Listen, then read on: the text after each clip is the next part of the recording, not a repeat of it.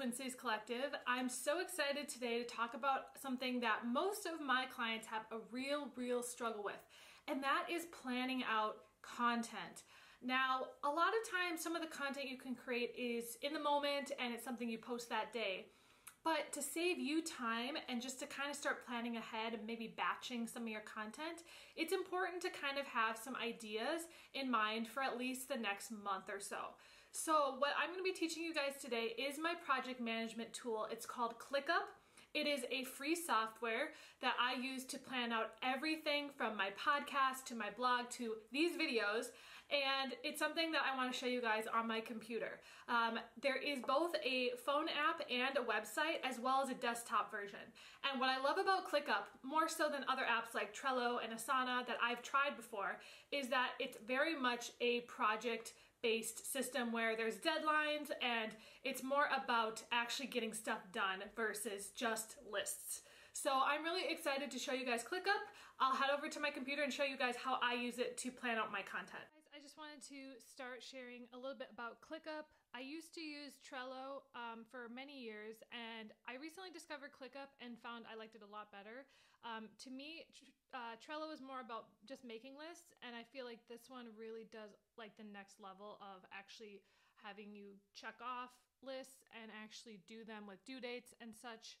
Um, they have all three options on here for both lists boards, and calendars, as well as additional workflows like Gantt charts and other things if you have the pro account.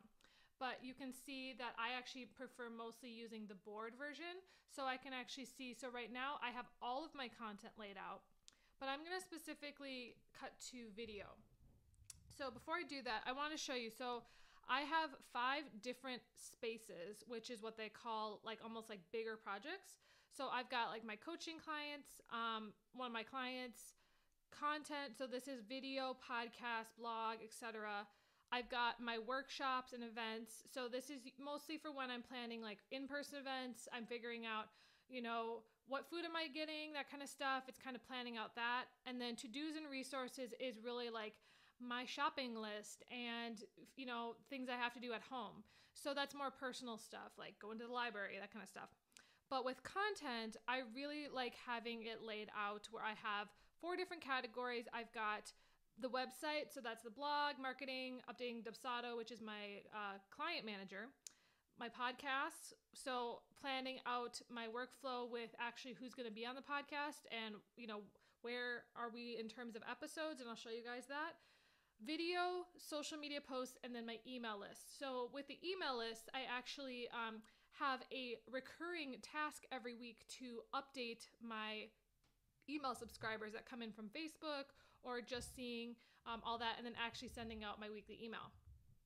With social media posts, that's like planning out photo shoots and such so that I actually have ideas for Instagram posts with my video, as you can see here, I have my TikTok, my personal videos, which are kind of back burner. I'm not doing as many of those. And then my this week's tips under 10. You can see right now, as I'm filming this on Wednesday, my tips under 10 goes out tomorrow at 9 a.m. by 9 a.m. So that is something that I've actually set a deadline or a due date. And you can see on the calendar, if you look at it, Tomorrow I have how to use ClickUp. And then if you see the full calendar with all of the different spaces, you can see all of the different projects I'm working on and deadlines. So this has been really helpful for me because I'm not very organized at all. Like I really, this is a lot for me, but it's helping me become more productive, which I really, really think for me is needed to stay sane because otherwise I keep everything in my head. So I'll show you guys quickly a little bit more about ClickUp. Um, I'm going to talk specifically about what I'm doing. So you can see I have some overdue tasks. I have to actually just check those off. It lets me know. Sometimes I do them and then it takes me a day to actually check them off of ClickUp. Um, but you can see that I have different to-dos. They have some new features. They're coming out with new features all the time, so I don't even know what half of them are. Um, but one thing I wanted to also show you is documents. So um, actually, first I'll show you dashboards. So dashboards actually are the things, all the things you have to do in actual dashboards or like, um, you know, charts. So you can see, like, for example, how many recurring tasks I have. You can see how many tasks total, the priority breakdown. So, which ones are the most important? So, I have 15 high priority. I've got, you know, that kind of thing, just figuring out, you know, active coaching. I've got my TikTok ideas. You can see which are closed, which I need to actually move those off.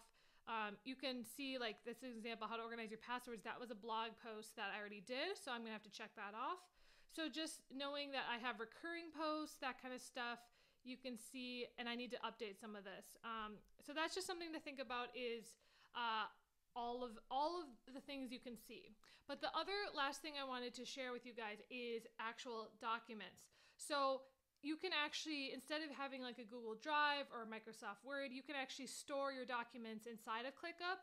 So for for example, I and you can have actual like groups of them over on the side within, and you can see these are pages that are separate.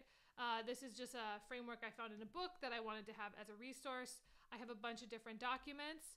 Um, but if you go back to the main tasks, which is like the main uh, way you can look at ClickUp, you can see that inside of content, I have four documents. So for me, as someone who is super unorganized, I like to use ClickUp to store a lot of my ideas. Um, and so it's something, and down here, you can actually add a new task right here quickly to something. You can assign people, add attachments like Google. Um, you can you can see there's like Dropbox, OneDrive, Google Drive, that kind of thing, adding to each one. Um, I'll show you guys an example within one actual task is you can actually see different ideas I have that they're small ideas. I'm just brainstorming, brain dumping, and actually just sort of have in the background. I've set my priority to normal. I've added a tag called tips under 10. So I'm really trying to figure out okay, what's my next tips under 10? I get feedback from you guys. I get DMs sent to me saying, hey, can you do something on this? And I go, I'll add it to the list. So for me, having, for example, my podcast workflow, a lot of this is I have a lot of recurring tasks. Since I didn't publish a podcast yesterday, I'm taking the week off. I just have too much to do right now. Um, I, you know, can check that off and it auto recurs to do it next week um, on Tuesday because I upload on Tuesdays. Um, I have lists of potential guests and people that um, I just want to reach out to. And then you can see I have different places where I can move people along. So once I record an episode with someone, I move them over. So these are two people that are scheduled right now. They are scheduled, so I'm actually going to be recording with them. Once those are recorded, we move on to the next category and so on. Um, with publishing and uploading, I have a checklist of all the things I have to do. And then I also have over here again the social media upload. So sharing my podcast episode to Twitter, sharing it to Pinterest, etc. So this is kind of how I use uh, ClickUp. I also do it from my blog posts. So for me, it's really about brainstorming and adding due dates to things. So as you guys are creating ideas for content, having a place to store them is really, really powerful.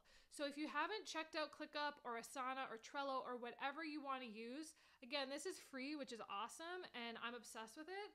Uh, you can definitely check it out. Again, I'm not affiliated with them. I've never gotten paid by them. I'm not even on the pro plan.